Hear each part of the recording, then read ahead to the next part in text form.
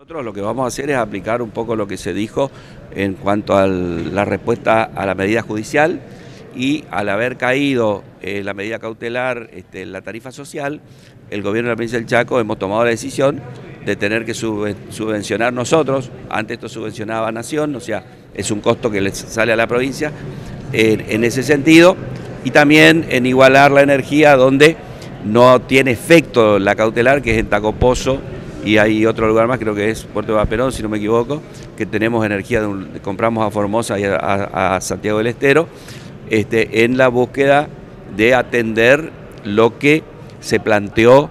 con la, medida cautelar del gobierno provincial, que entiendo que esto es una medida pasajera. SECHEP va a dar todos los comunicados necesarios para que los usuarios tengan en eso la claridad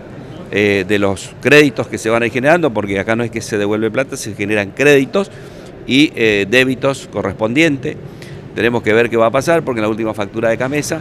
no, no llegó el crédito correspondiente también a SECHEP. Eso es un tema al cual seguramente vamos a ver qué resolución tiene en este, en este tema tan complejo, porque esto hay que entender que es complejo la situación, pero que nosotros eh, vamos a hacer lo que tenemos que hacer en función a lo que diga la justicia y defendiendo los intereses de ese CHEP y de la gente, que así lo hacemos. En provincia de Buenos Aires, he leído en el día de ayer que cayó la medida cautelar, se aplicó el, aumento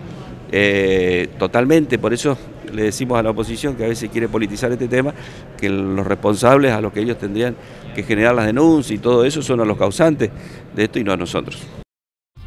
Para volver a ver, 9 Link, el archivo de la tele.